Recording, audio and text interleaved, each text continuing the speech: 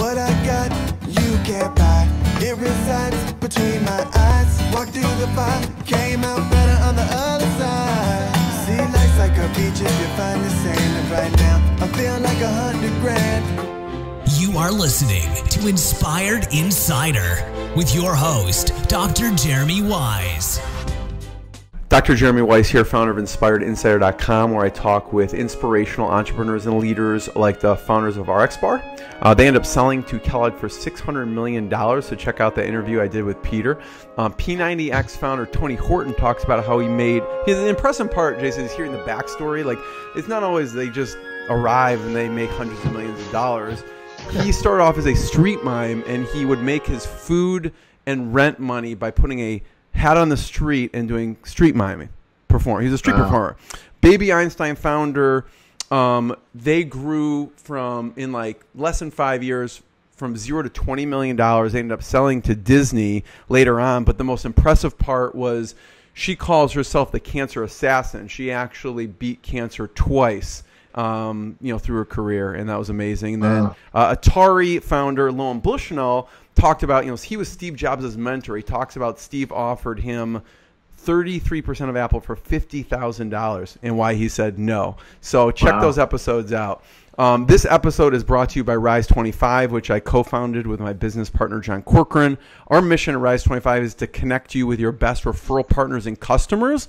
And we do that uh, for for people through a done for you podcast solution, which in my mind is the best thing I've done for my business and my life. So we help your company completely run and launch your own podcast. We distribute it across all different channels, you know, from your blog, you know, from your website to you know iTunes, Stitcher, Spotify, all of them.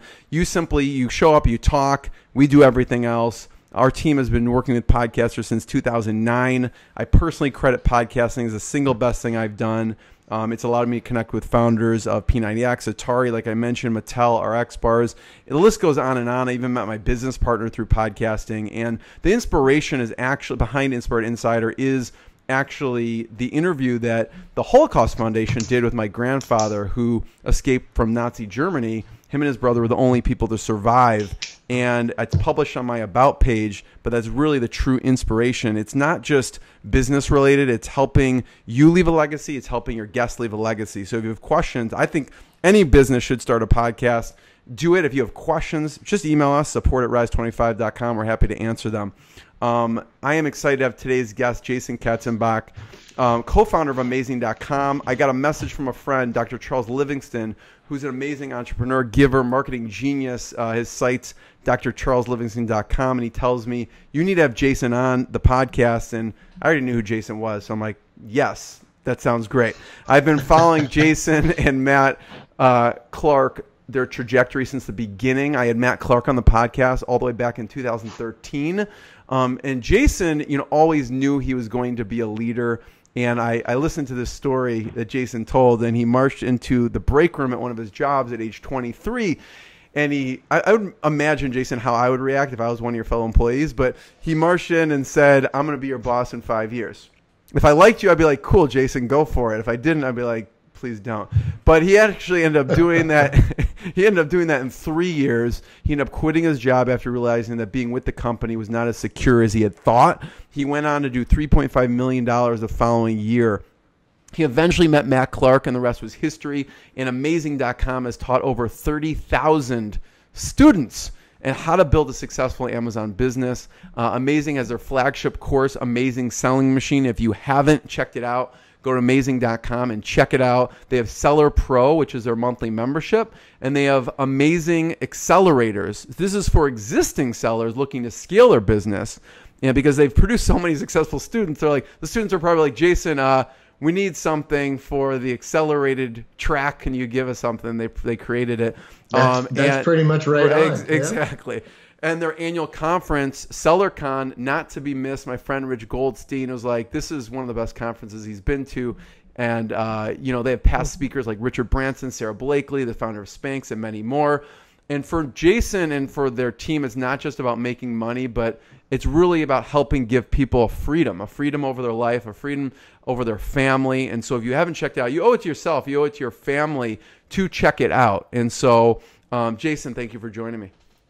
You're more than welcome. Thanks for having me here. You know, we all get into this business stuff for a lot of reasons, and um, I want to start with what matters and why we do what we do because it's a family. I know your family is very important to you. Um, I want you to talk about how being an entrepreneur has affected your parenting. Yeah. Um, well, you know, first of all, being a business owner, uh, there's so many parallels to family life, whether it be marriage or parenting. You know, like my business partner Matt, our relationship is like a marriage in a lot of ways. 100%. Yeah. And our employees are like our children in a lot of ways. How you have to build them up, how you have to, you know, you're always wanting what's best for them. Um, the other thing that it's really helped me as a parent is um, to, to constantly be I have great conversations, and my daughter. It was funny. Last, it would have been about a year and a half ago. We were in Florida, and uh, there was an issue where she was actually breaking up with her boyfriend, and I'm sitting there writing down on paper trying to coach her how the best way to do it. And her friend just looks at her. She says, "I wish I had a relationship like this with my parents." Um, and it's about first of all, like I've always wanted to be a parent. I've always wanted to be a dad, so it's been a, a pleasure of mine. But it's like you you have to engage with them. You know, if you have employees and you just hire them and never talk to them, have no relationship with them or whatever, they're not going to feel part of the family. They're not going to feel part of the business. They're not going to know the direction.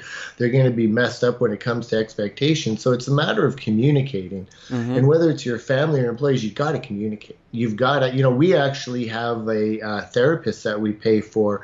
Um, who every two weeks we have a guided conversation with our daughter. So my my eldest daughter passed away about a year and a mm. half ago of so cancer. Sorry. Yeah, thank you.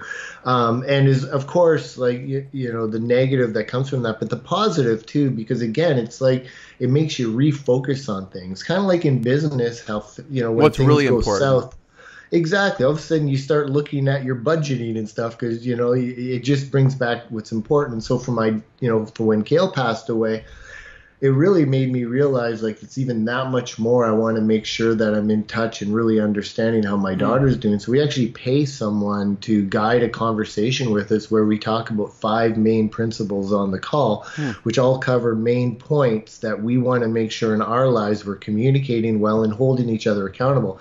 So we actually, you know, she's only 19, but we try to make these, as much as they're loving parenting conversations, we, we really want to make her a part of the family from the perspective of these are the decisions we're making. We're not just treating you like a child, we're actually wanting you to be part of these conversations.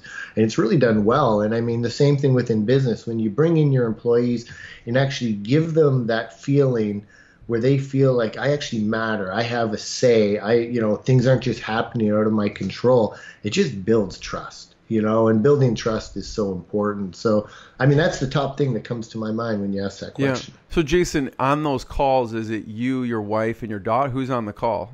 Yeah, the three of us plus the lady and Claire that we uh, work with. So she sits there. It's all video. Um, and sh- so what we did was the first few calls we created an outline. So we started with what's the purpose of doing these. Then we said, what are the five topics we came up with that we really wanted to know about? Mm. So we have a general check in, then we get into things like health, finances, school, relationships, mm. um, and then just open. So we talk about each one of those so that there's also no, you know, she's at school, and one of the things, you know, like financially, we're really good, but we don't want to spoil her. So with our daughter, we said we'll pay for all your schooling and all your education and all your food, all your home, I mean. But when it comes to like miscellaneous spending, for example, it's like no. You guys like, start an Amazon business. You, well, exactly, or get a job, like do something where you know because you you need them to be building on themselves. But by having this relationship and having this conversation we're having, we really set the groundwork where we can talk about the reasons for doing it, mm-hmm. and she can share like her opinions, and it just seems to uh, it's really helping also transition from you know because when your kids grow they come into an adult they change but they still look at you a lot of times in the same light. So it's us trying to help them kind of it's a, it, at the end goal. The purpose of it is to be able to create a stronger friendship and relationship with my daughter. I mean, Mm-hmm. How that, did you that's decide the end to goal. first start to do that? Like, who, did someone someone prompt you like in every two weeks? a san- sanity in marriage. Um, you know, I, I joke a little bit, but at the same time, I'm very serious. Where, um, you know, parenting's tough, man. And you know, when you go through the loss of the child, like we did with my eldest, you know, all of a sudden you realize you don't have a clue what you're doing, and you see all these other people, and you hear that you're a good parent, and then you just feel like, oh, I screwed up here. Um, and so me and my wife were just kind of like banging our heads against the wall, trying to figure out how can we help, you know, because there's little things like, you know, every teenage girl, what girl doesn't clean up her room, like those kind of things. But it's like, it seems like you ever see the movie Fifty First Dates? Came out years, you know, and it was, mm-hmm, it mm-hmm. felt like that, where every morning, like you were just starting all over again. So we were like, what are we, you know, obviously we're doing something wrong. And we realize, like, as parents, it's like, yeah, we can lay down the law as, you know, as a parent, just say, this is how it is, but maybe we're wrong. You know, so we want, and because of going through the loss of a child, we needed some help anyway, because, you know, that just brings up a whole lot. You don't know what's normal, what what's not normal. So as we were working with her, we realized, well, why don't we ask if she would do this? And she she was all over. She said, I'd love to work with you guys on that. Um, so it was kind of like a, you know, I don't want to say it was a latched last ditch effort because it wasn't at that point, but it was at a point where just accepting, you don't, you know, we didn't know what we didn't know. You know, like, and without that, I mean, we didn't know where to turn, how to make things better. Um, and we were all, you know, struggling so much emotionally. And it's just, it's just taken such a weight off. It's helped her transition. She's in university now, and the transition has been incredible. Um, you know, we were able to sit down because so many times you sit down with your your child, and right away, like they're rolling their eyes, like, "Oh my god!" You're like, "You don't know what you're talking about. You're a dumb adult," you know. But by having that framework that we did, it really set it up for success. Um, and I've been super super happy. Yeah. So I have to ask about the five main principles, but we will give a shout out to so Jillian. They should check out. She's she's an amazing, talented singer, um, songwriter. I listened to a few episodes, you know, a few episodes, few uh, songs today.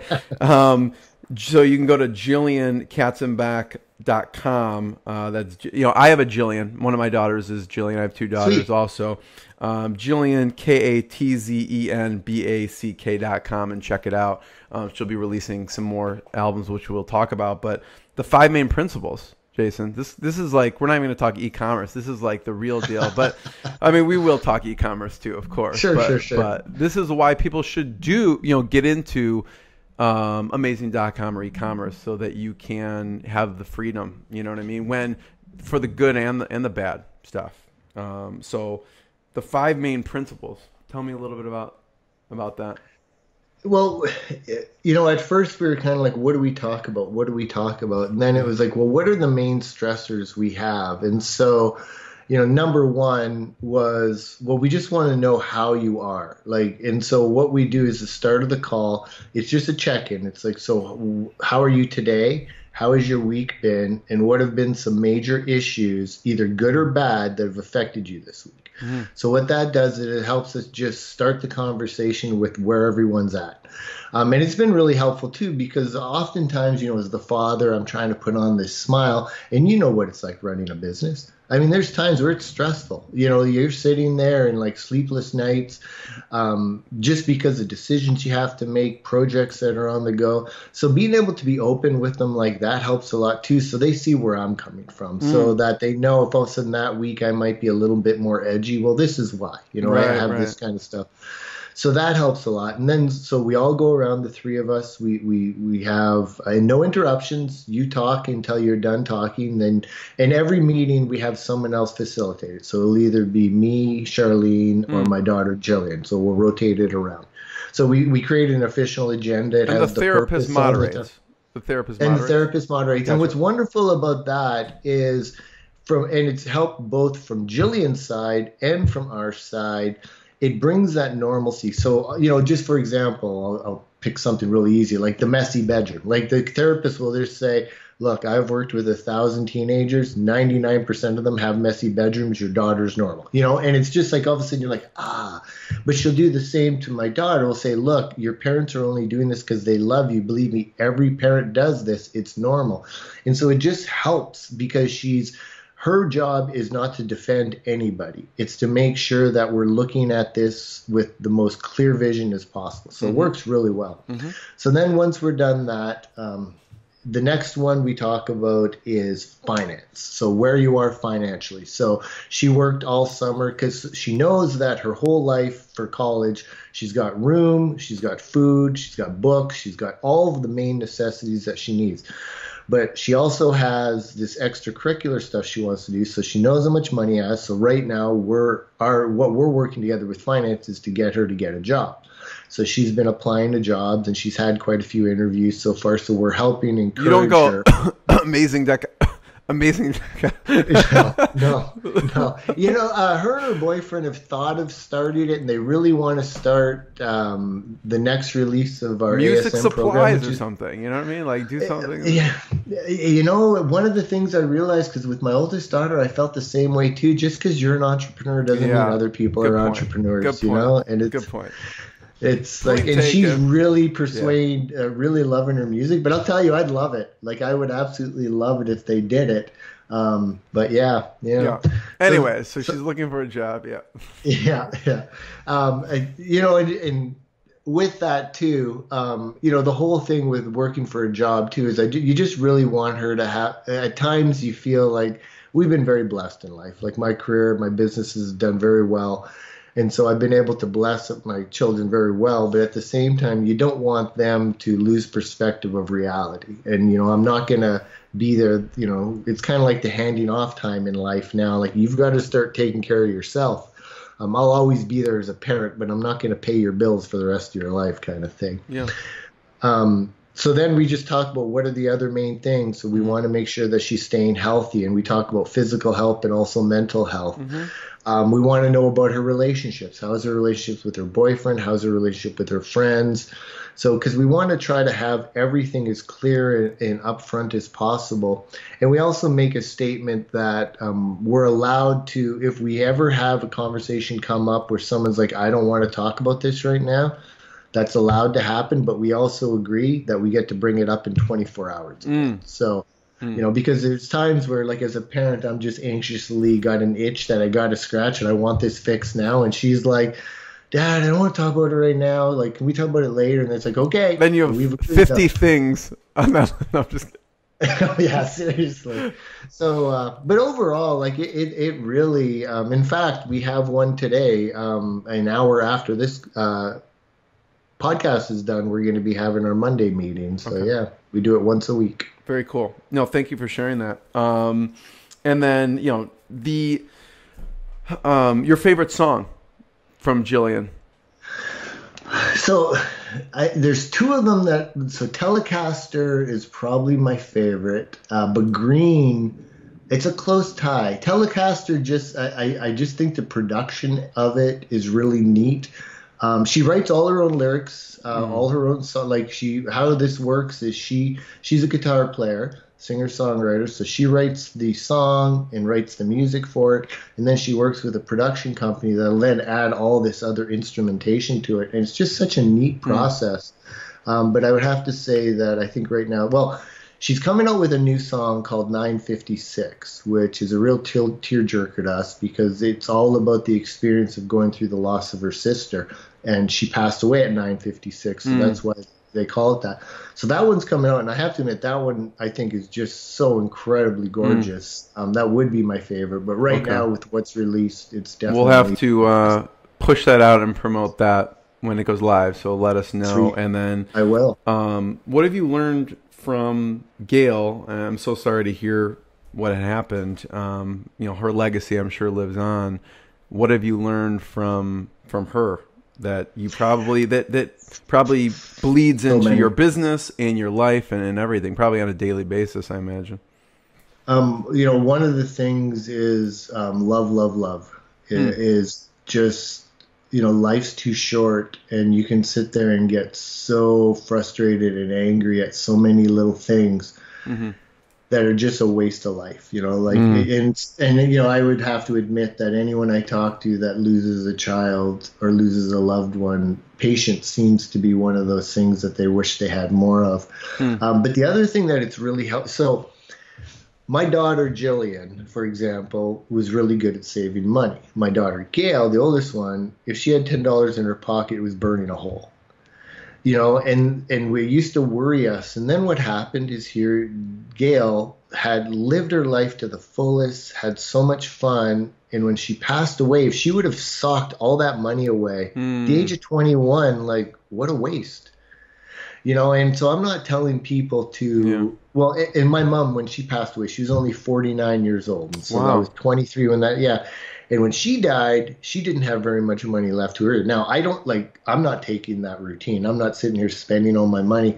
But i guess one of the things that it made me realize is first of all life's about living and enjoying Yeah. like if you're sitting there not enjoying life, like life's too hard, man. Like Totally. there's constantly like every day there's a stress or there's something potential. So it's first of all kind of trying to not be so serious about life all the time, but also the big thing for me, especially when she was going with cancer, that uh, with those years that you'd have weeks where it's just horrible, but all of a sudden you'd have a day that was just amazing, where she was just like she wasn't sick anymore. And instead of sitting there saying like, "Oh crap, she's going to be sick again tomorrow," was just stopping and enjoying the right now. Hmm. And so many times in life, I think it's important to do that when just stop for a second and think everyone's okay, everyone's work, you know, everything's going well. We've got everything clear. Like just stop and enjoy it. And sometimes, you know, they say stop and smell the roses, but it really is just like that. Like sometimes it's so important to just step aside and not like they say the forest through the trees, and it's so true. Like you're there's always going to be something to be stressed about, but sometimes you got to force yourself to stop and think of something to be thankful about. Totally. So for me, that was a big. Totally. Thank you for sharing that. Um, and you talked about living life. Um, what do you do differently because of, like you said, you don't you don't like spend all your money, you don't drain your bank account and go on all these lavish trips. But but what have you done differently in the past, you know, year or so? Because you're like maybe you would have chosen a different decision before, but now you're like that came in your mind. You're like I need to just live life. I'm back in Canada, so Uh-huh. uh, you know, and what I mean by that is, you know, I moved to Austin six years ago. We were Mm-hmm. creating this business, going to travel the world, do that dot com lifestyle, Mm-hmm. and all of a sudden I realized, like, number one, man, family and friends, like your true family and friends, you know, it's, it's if you have that, protect that. Um, because one thing that was a big thing that I missed is when I was traveling around. And so I have wonderful friends. Like I've met wonderful friends in Austin and all that kind of stuff. And so I guess I'm talking primarily family here. Like for me, it's it really made me realize how much I missed my family and that traveling the world and living this sort of lifestyle, it was fun for a little bit, but it's like, no, I, I mean, I just, hmm. I want to relax and hmm. just be surrounded with people that just know me for me, trust me for me, like I have a relationship with. I'm not always trying to, you know, it's just a different world. And I don't know how else to explain it from that perspective, but I'd say that was my biggest one. And also uh, minimalizing, um, you know, you know, whether this is a midlife crisis thing or what. You've gone the But it- reverse of everyone, Jason. It's like, no, I didn't went from like traveling and stuff to not traveling and getting rid of stuff. So Yeah, we're this is we're actually going to spend the winter back in Canada this year instead of like making sure we're around palm trees and stuff. that sounds we just- terrible to me, to be honest with you. But yeah, well, you know, like don't get me wrong, like we're still gonna travel. I'm not Okay. gonna be stuck here all winter. Like we love Arizona even. Okay. Um, just going somewhere a little warmer for a few weeks. But the idea is just like trying to not have so much chaos and movement. You know, like one of the things I find for running a company, you know, at first, you know, it's so great to say you can have that lifestyle, and some people love it. Where as long as you have a laptop and an internet connection, you can work wherever you want from the world, and, and that's mm-hmm. very true for me. But what I find, if I don't have a daily routine, it's so hard to get into that routine. So mm. if I'm traveling, like that travel day, I'm a terrible traveler. I really am. And I've just had to realize that for myself. my travel days don't even look at work because it's just going to stress you out. It's going to overwhelm you. So what I do then is I just book my travel day. And so then what I need to do is know, okay, tomorrow, because I like to plan every day the night before. So this is what I'm doing tomorrow. So if all of a sudden like I'm trying to figure out where I'm going to work from and there's all these events Yeah. going on, it just it, it zaps me. It's not, not. And you know, for those people that love that kind of stuff, that's good for you. But I found like definitely routine and a common workspace ha- is dramatically more effective for me than just going Hmm. wherever. And it's nice, yeah, some days like to get out of the house and go to a Starbucks or something just to have people around you does help. But for the most part, I like to sit at my desk and just work all day at my desk. And then when I'm done, I'm done and walk away from it. What I got, you can't buy. It resides between my eyes. Through the fire, came out better on the other side. See, life's like a beach if you find the right now, feeling like a hundred grand.